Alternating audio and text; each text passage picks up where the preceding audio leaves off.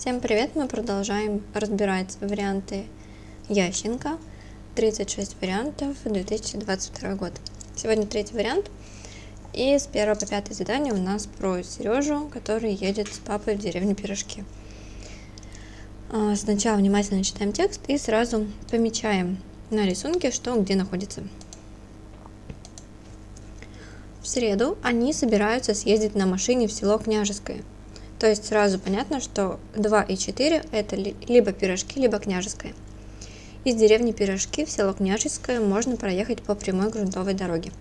Есть более длинный путь по прямолинейному шоссе через деревню Васильева до Рябиновки, где нужно повернуть под прямым углом. Значит, в Рябиновке нужно повернуть под прямым углом, а Васильева вот здесь. Еще раз вчитываемся в это же предложение. Из деревни Пирожки в село Княжес... Княжеское через Васильевку. Из Пирожки в Княжеское через Васильевку. То есть это будет Пирожки четвертое, а Княжеское это второе. А, скорость после рисунка нам пригодится чуть позже. И если мы правильно все отметили на рисунке, то мы просто вписываем для первого задания готовые ответы. Пирожки это у нас 4, Княжеская это 2 и Рябиновка это 3. 4, 2, 3 это и есть ответ для первого задания. Так, второе задание. Сколько километров проедут Сережа от Пирожков до Княжеского, если поедут по шоссе через Рябиновку? То есть из четверки в двойку по шоссе, полностью по шоссе. Сколько километров? Тут нужно посчитать клеточки и учесть, что одна клеточка это 2 километра. То есть сразу пишем 2 умножить количество клеточек. Считаем. Раз, два, три, четыре, пять, шесть, семь, восемь, девять, десять, одиннадцать, двенадцать, тринадцать, четырнадцать, пятнадцать, шестнадцать, семнадцать, восемнадцать, девятнадцать, двадцать, двадцать один, двадцать два, двадцать три, двадцать четыре. Где-то я обсчиталась.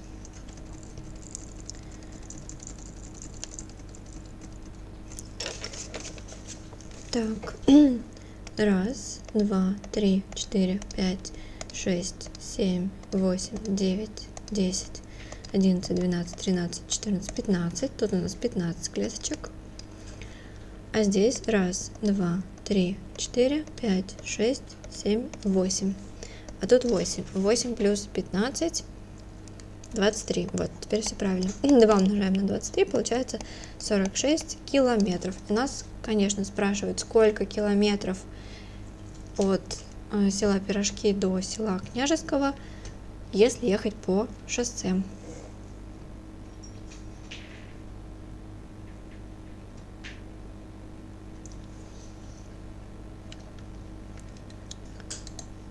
Второе задание готово. Ответ 46. Третье. Найдите расстояние от Васильева до Княжеского по прямой. От Васильева до Княжеского по прямой. Так, а, если внимательно посмотреть, то это у нас прямоугольный треугольник. Ведь э, в Рябиновке у нас прямой угол. Значит, нам нужно найти гипотенузу. Сторона от двойки до тройки уже известна, там 8 клеточек. То есть 8 в квадрате, 8 э, умножаем на 2, не забываем это будет 16, это один катет. И здесь у нас раз, два, три, четыре, пять, шесть. 6 умножаем на 2, это будет 12, это второй катет, а нам нужно найти гипотенузу. 16 в квадрате плюс 12 в квадрате. Это получается 400. И обязательно делаем корень из того, что мы нашли, потому что гипотенуза не может быть большая. Это будет 20 квадраты можно посмотреть по таблице квадратов в справочных материалах. То есть в третьем ответ 20. Четвертое. Сколько минут затратят на дорогу из деревни Пирожки и в село Княжеское, если поедут по прямой грунтовой дороге?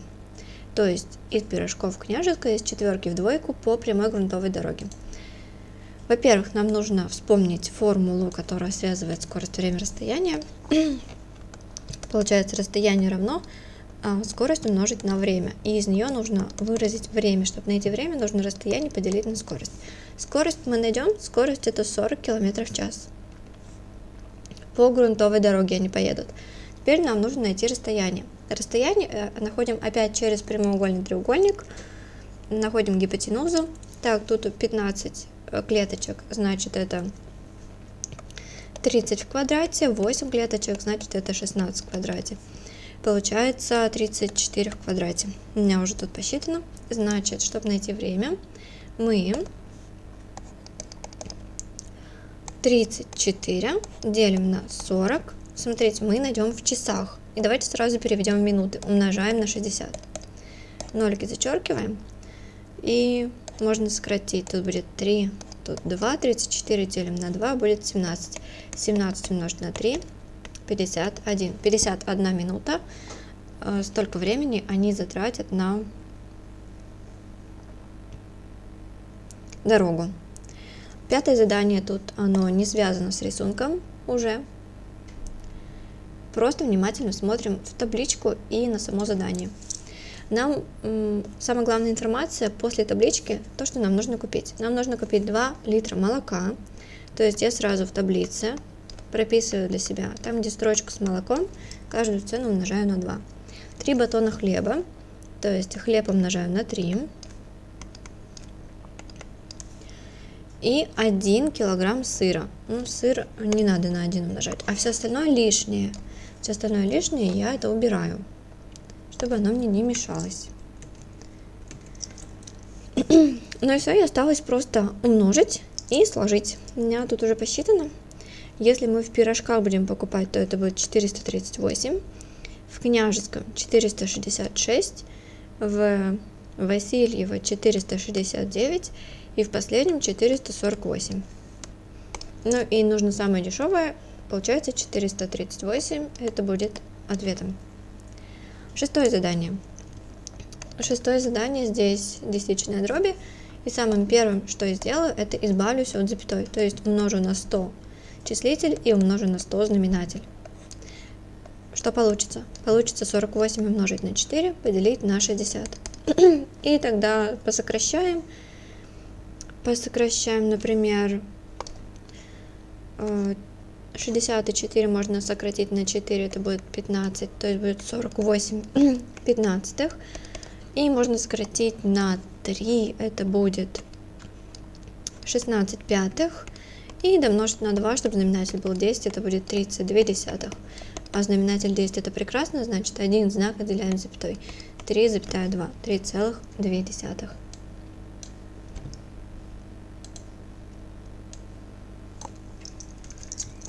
Седьмое задание. Тут нужно найти число, которое заключено между числами. Проблема в том, что корень из 6 и корень из 5 не вычисляется. А значит, что мы делаем? Мы все заносим под корень. То есть у нас первое число 5 корней из 6. Это значит пятерку заносим под корень. Это будет 25 умножить на 6. И это корень из 150. И 6 корней из 5. То же самое, шестерку заносим под корень, это будет 36, умножить на 5, это будет корень из 180. И каждое число, которое у нас дано, нужно тоже занести под корень. 12 это 144, 13 169, это в таблице квадратов смотрим, 14 это 196 и 15 это 225. Нам нужно найти то число, которое больше, чем 150, но меньше, чем 180. Это число 169, и оно под номером 2. Значит, ответ 2. Восьмое. Здесь у нас свойства степеней. И что нужно помнить? Что при умножении степени складываются, при делении степени вычитаются. А когда степень в степени, как у нас здесь а в четвертой и еще в минус третьей, они умножаются. То есть будет а в четвертой и в минус третьей. Это будет а в минус двенадцатой. Это первое действие. И второе а в минус двенадцатой поделить на а в минус семнадцатой. При делении степени вычитаются. То есть так и пропишем минус 12 минус минус 17. Ни один минус не теряем. Это получится а в третьей. Конечно, 17 минус 12 это будет 5, а в пятой. Это будет а в пятой, и только потом мы подставляем вместо а двойку. 2 в пятой это 5 раз умножаем двойку на саму себя. Раз, два, три, четыре, пять. Это будет 32. Девятое. Ответ 32. Девятое. Здесь мы домножаем а, на дополнительные множители. Девятку домножаем на 3 и x тоже домножаем на 3, потому что общий знаменатель 3. То есть будет x минус 27 равно 3x. x минус 3x равно 27. Получается минус 2x равно 27. x равен минус 13,5. Главное не потерять минус. Десятое. Тут тоже все просто.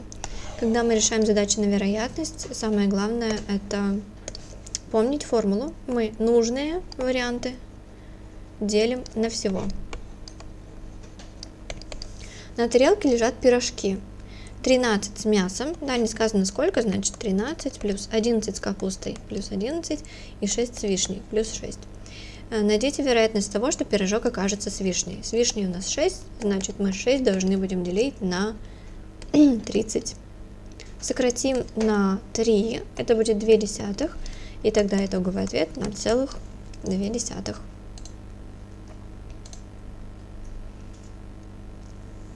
Одиннадцатое. Здесь у нас с графиками. Что мы делаем? Мы мысленно, так как это прямая, мысленно рисуем стрелочку. Если стрелочка верхняя идет правее, то k больше нуля. Если стрелочка левее, то k меньше нуля. Видим, что в первом стрелка идет вправо, значит k больше нуля. Э, во втором стрелка влево, значит k меньше нуля. И в третьем k снова больше нуля, потому что стрелка скорее идет вправо, чем влево. b это пересечение с осью о, y. Если пересечение внизу, то b меньше. Да? В первом видим, что пересечение под нулем, значит b меньше нуля. Во втором тоже под нулем, значит b тоже меньше нуля. А в третьем пересечение сверху, значит b больше нуля. Ну и все, и сопоставляем. Для А нам нужно больше-больше. Больше-больше это третье. Для b нам нужно больше-меньше. Больше-меньше это первое. Ну и v остается 2. Двенадцатое. Здесь у нас фирма такси, и нужно просчитать Стоимость 14-минутной поездки. Получается c равно 170 плюс 15 умножить на 14 минус 5. Нужно просто посчитать, это будет 170 плюс 15 умножить на 9. 170 плюс 135, это будет 305. То есть 14 минут будет стоить 305 рублей. 13 это квадратное неравенство. И когда мы решаем квадратное неравенство, мы всегда приравниваем их к нулю. Приравниваем к нулю и решаем как уравнение. Здесь у нас неполное квадратное уравнение, можно x вынести за скобки. Останется 5 минус x равно 0. Это получилось распадающееся уравнение. Оно распадается на два уравнения. x равен 0 и 5 минус x равен 0. Отсюда x равен 5. Мы рисуем свой луч. Точки у нас закрашенные, потому что знак больше либо, либо равно. Есть штришок, значит точки заштрихованные, можно так запоминать. 0,5 и квадратные неравенства мы решаем интервалами. Из самого правого интервала, допустим, я возьму, что x равен 100. Чем больше число, тем меньше придется считать и подставлю сюда. Подставлять можно в любую часть, где все уравнение или неравенство в одной части. Тут все в одной части, подставлю сюда. 5 умножить на 100, это будет 500. Минус 100 в квадрате, это будет 4 нуля. Минус 10 тысяч. Ну, нам важен знак, число будет отрицательное, будет минус. Значит, знаки минус, плюс, минус. Знаки всегда чередуются. Ну, почти всегда. Если будет такой случай, то мы разберем его. В первой части знаки всегда чередуются. И смотрим внимательно, что нам нужно было. Нам нужно было больше нуля. Больше нуля у нас там, где плюс, значит это серединка, от нуля до 5. И смотрим, какой ответ нам подходит. Нам подходит ответ 2. Ответ 2. То есть решаем сами, чертим свой луч и только потом сравниваем. 14. У Яны есть попрыгунчик. Она со всей силы бросила его об асфальт. После первого отскока он подлетел на высоту 240. То есть первый отскок 240. А после каждого следующего на высоту в два раза меньше предыдущей. После какого отскока высота станет меньше 5? Ну, я предлагаю колхозным способом посчитать. Не с помощью прогрессии, а просто. То есть следующий у нас в два раза меньше, это будет 120. Следующий еще в два раза меньше, это 60. Четвертый отскок это будет 30. Пятый это будет 15. Шестой это будет 7,5. И седьмой это будет 3 с чем-то. И вот после седьмого отскока высота станет меньше 5. Здесь ответ 7. 15 тангенс угла. Тангенс это отношение противолежащего катета к гипотенузе. Давайте напишем. Тангенс угла B противолежащий катет. Это тот, который лежит напротив угла B. То есть АС. АС делим на BC. И давайте посмотрим, что нам известно. АС известно? Известно. АС это 35. То есть мы 35 делим на BC. О, BC тоже известно. BC 7. 35 поделить на 7 будет просто 5. Это и есть ответ.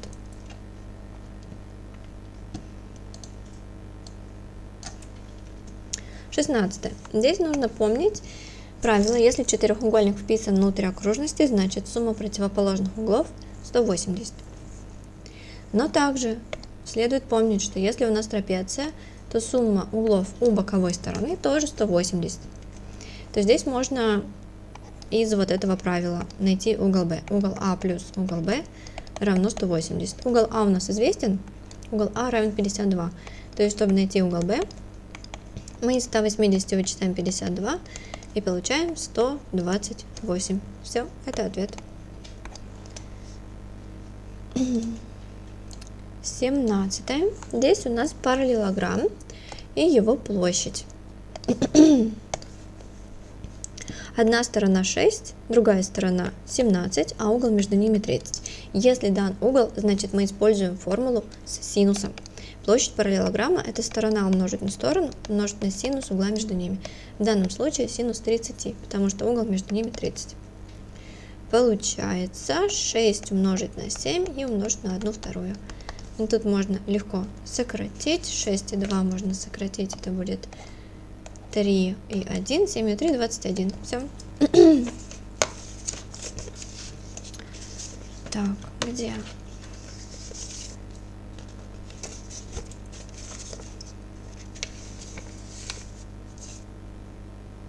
Ой, я не то.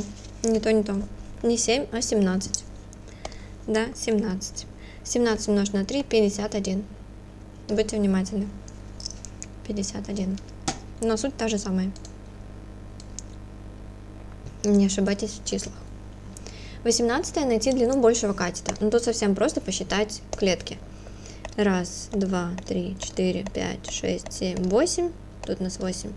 Раз, два, три, четыре, пять, шесть. А тут шесть. Ну, восемь больше, чем шесть, значит, ответ восемь. Девятнадцатое. Какие следующих утверждений верны? Все высоты равностороннего треугольника равны. Да, в равностороннем треугольнике на то он равносторонний все равно. Все бисектрисы, все высоты, все медианы, все углы, все стороны, все равно. То есть первое это да. Это правда. Второе. Существует три прямые, которые проходят через одну точку. Проверяем. Э, можно через одну точку провести три прямые? Да, можно. Значит, да, это тоже правда. Третье. Если диагонали параллелограмма равны, то это параллелограмм ромб. То есть нам хотят намекнуть, что если диагонали равны, то это ромб. Значит, у ромба должны быть одинаковые диагонали. Вспоминаем свойства ромба. У ромба диагонали не одинаковые. Они только пересечения делятся пополам, они пересекаются под прямым углом, но они не одинаковые. Значит, третье это неправда. Нам нужны верные утверждения, значит будет ответ 12. 20 задание – это у нас неравенство. Сначала что мы сделаем? Сначала мы раскроем скобки. Это будет 16х квадрат минус 2 умножить на 4х умножить на 7 плюс 49. Больше либо равно 49х квадрат минус 2 умножить на 7х и на 4 и плюс 16. Смотрите, серединки одинаковые. Серединки одинаковые, значит они уничтожаются. Можно даже не считать. Что будет дальше? Дальше все перенесем в одну часть. Я перенесу все влево. Это будет 16х квадрат плюс 49 минус 49х квадрат минус 16 больше либо равно нуля. И давайте упростим. То есть это будет минус 33х квадрат плюс 33 больше либо равно нуля. А вот теперь, когда мы упростили, можно уже решать, приравниваем к нулю. То есть это будет минус 33х квадрат плюс 33 равно 0. С х влево без х вправо это будет 33х квадрат равно 33. Делим все на 33, получается x квадрат равно 1, x равен плюс минус 1. Рисуем свой луч, ну это вторая часть, тем более, да, рисуем свой луч. Точки у нас закрашены, либо заштрихованные, потому что есть штришок минус 1 и просто 1.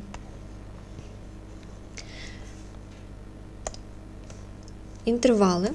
Из правого интервала я возьму, что x равен 100. И подставлю куда? Куда я хочу подставить? Вот сюда подставлю, где все в одной части. Это получается 100 в квадрате, это будет 4 нуля. То есть минус 33 и 4 нуля. Раз, два, три, четыре. Плюс 33. Ну явно это будет отрицательное число. Это будет минус, да? Значит, знаки минус, плюс, минус. И нам надо там, где больше нуля. Больше нуля у нас посерединке. Так как это вторая часть, нам нужно слово ответ x принадлежит от минус 1 до 1.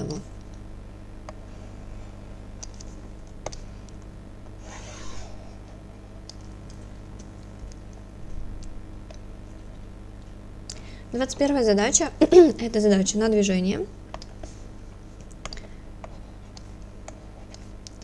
И я сразу нарисую основу таблички. СВТ. Из пункта А в Б одновременно выехали два автомобилиста. Первый проехал с постоянной скоростью весь путь. Второй проехал первую половину пути со скоростью 30, а вторую половину пути со скоростью большей скорости первого на 9. В результате прибыли одновременно. Так, на что обращаем внимание? Про путь вообще ничего не сказано. Тогда мы помечаем для себя. Пусть путь равен 1. Путь равен, э, говорим про первого. Первый ехал весь путь с постоянной скоростью, берем ее за x. И формула СВТ у нас уже была. Чтобы выразить время, нам нужно расстояние поделить на скорость. Так и делаем. 1 делим на x. А вот со вторым автомобилистом чуть-чуть труднее. Он потому что не весь путь ехал с одной скоростью, а как бы поделил наш путь на две половины. Так, поговорим про первую половину. Половина – это одна вторая. А, первую половину пути он ехал со скоростью 30. То есть, чтобы выразить время, мы одну вторую делим на 30. И вторую половину пути, то есть вторая половина это тоже одна вторая, он ехал со скоростью на 9 больше, чем первый. Значит, x плюс 9. Тогда мы одну вторую делим на x плюс 9. Составим уравнение.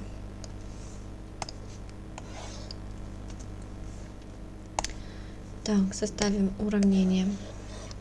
Прибыли они вместе. То есть время, которое затратил первый, это 1 делить на x, равно время первой половины пути второго автомобилиста плюс время второй половины пути второго автомобилиста. Вот такое уравнение получается. 30 и x плюс 9 представляем в виде дроби. Вторая дробь у нас переворачивается. Получается у нас 1 делить на x равно 1 делить на 60 плюс 1 делить на 2х плюс 9. Кто путается в знаменателях, для себя отметьте рядышком где-нибудь общий знаменатель, это будет x умножить на 60 и умножить на x плюс 9.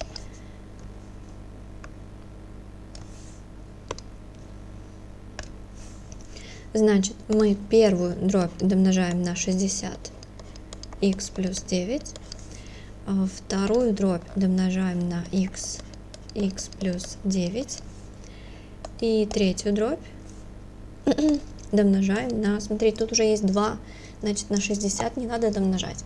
Нужно 60 поделить на 2 будет 30, 30х, 30х. Ну и все, и умножаем. У нас везде единички, поэтому все так и будет. 60 умножить на х плюс 9 равно х умножить на х плюс 9 и плюс 30х. Раскрываем скобки, получаем квадратное уравнение. Будет 60х плюс 540 равно х квадрат плюс 9х плюс 30х. Я все перенесу вправо, чтобы х квадрат был положительный. Это будет х квадрат плюс 39х минус 60х минус 540 равно 0. И получается х квадрат минус 21х минус 540 равно 0. Так, дискриминант это b квадрат минус 4ac. Так, 21 в квадрате это 441 плюс 4 умножить на 540. Так, где у меня это посчитано? Дискриминант будет 2601. И корень из дискриминанта будет 51. Тогда мы можем найти иксы. x получается 21 плюс-минус 51 делить на 2, у меня тоже уже посчитано. Первый x это 36, а второй это минус 15. Минус 15 должны пометить, что он не подходит. Не подходит. И пока мы решали уравнение, мы забыли, что мы искали. За x мы брали скорость первого, значит мы нашли скорость первого. Возвращаемся, что нужно найти? Найдите скорость первого. Отлично, мы нашли то, что нам нужно найти. Вторая часть, не забываем слова ответ.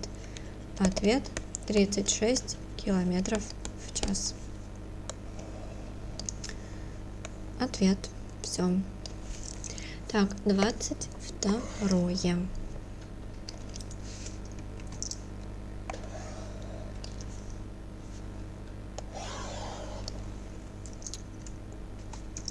Сделаем вот так. Наша, наша система в 22 распадется на, два, на две функции. Первая функция это будет y равно x квадрат минус 8x плюс 14 при x больше либо равен 3. И второе это y равно x минус 2 при x меньше 3. Давайте со второго начнем. Это у нас прямая. Обязательно подпиш, подписываем что это прямая. Для построения прямой нам необходимо всего две точки. Мы берем крайнюю, обязательно крайнюю, крайнюю у нас тройка. И любую, которая больше, меньше, меньше, меньше, чем тройка. 0, допустим. Если мы возьмем 3, 3 вот сюда подставим, 3 минус 2 это будет 1. Если мы возьмем 0, 0 минус 2 это минус 2. Все, все для построения прямой у нас готово. Теперь а, разбираемся с чем? С параболой. Это у нас парабола. Тоже обязательно подписываем. Для параболы нам необходима вершина, то есть находим x нулевое. По формуле минус b делить на 2а. А.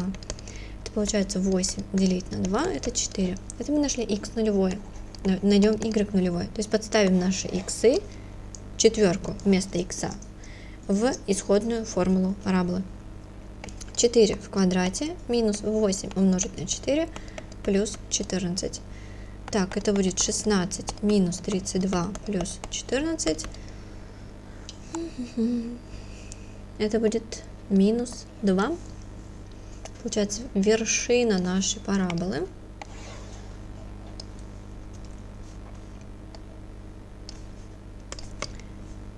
Вершина нашей параболы 4 минус 2. Так, сейчас сверюсь, сходится или нет.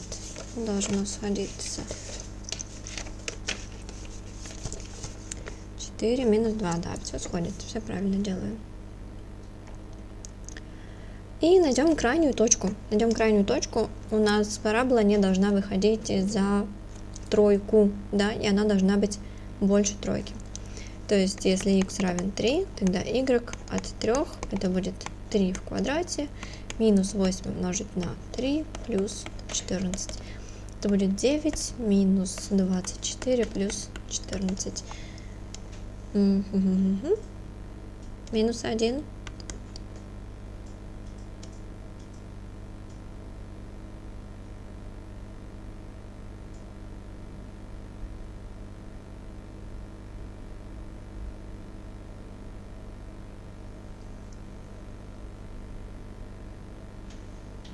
Да, минус 1, все верно.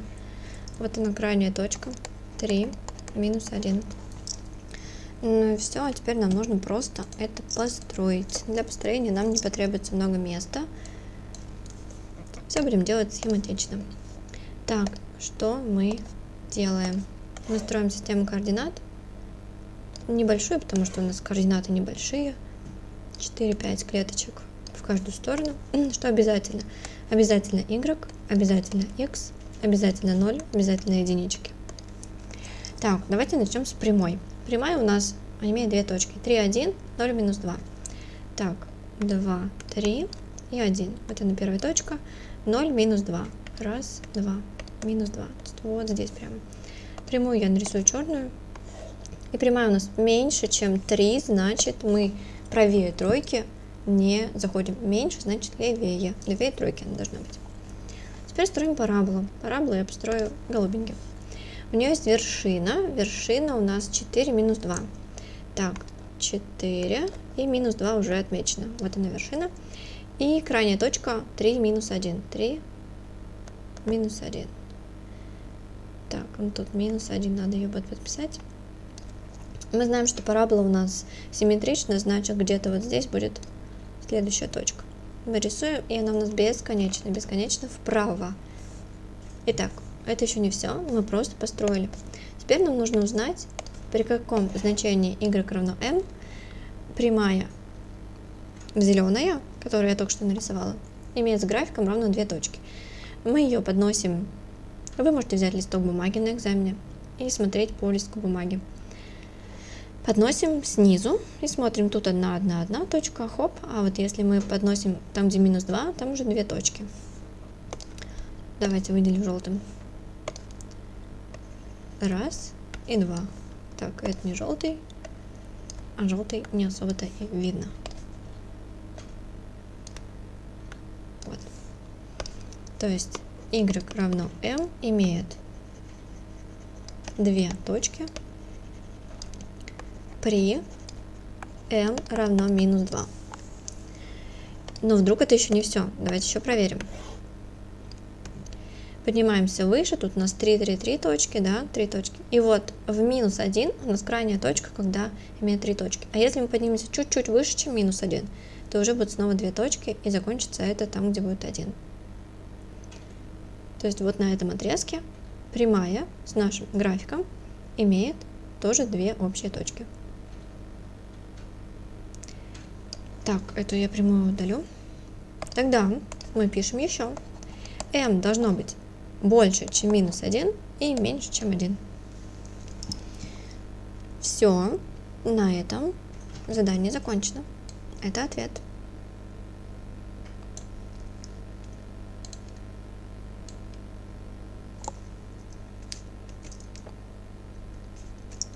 Двадцать третье.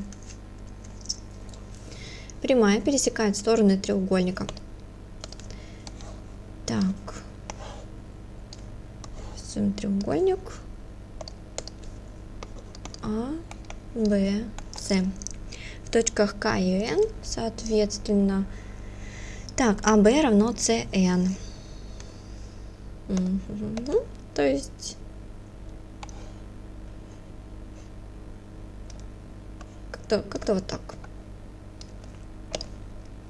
Так, АБ пересекает точка К, а здесь тогда точка Н. Все подписываем. АБ равно СН равно 16. АБ 16, СН 16. БЦ 20. БЦ 20. Тогда самым первым мы находим bn. bn это у нас 20 минус 16, это 4. Тоже подпишем 4. АС 28. АС 28.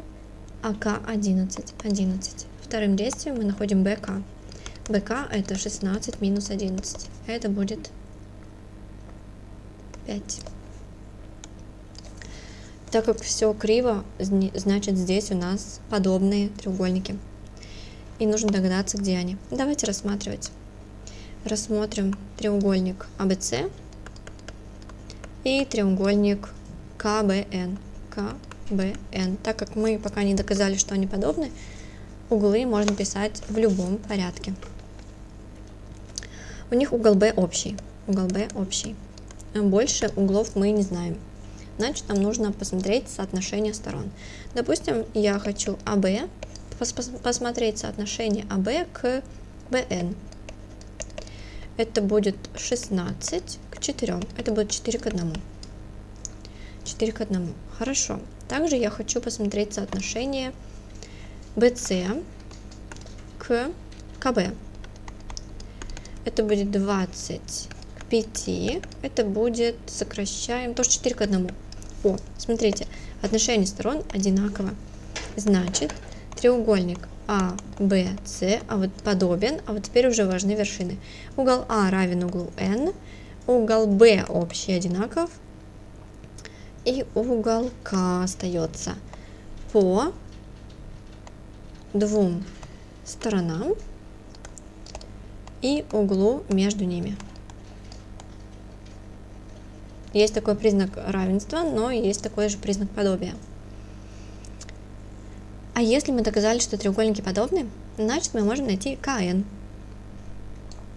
Мы можем найти КН. Так, нам нужно найти КН. Сейчас я сделаю, чтобы видно было рисунок. Вот. КН относится к АС, точно так же, как АБ относится к БН. Да, я взяла вот эту вот это отношение. Подождите, а я неправильно его взяла, потому что КН у меня из маленького треугольника. Значит, сторона из маленького треугольника должна быть сверху. БН, деленное на АБ. Вот так. И если мы подставим КН, АС у нас 28, БН у нас 4, а внизу 16. Отсюда КН будет равно 28 умножить на 4 делим на 16 будет 7. Ответ.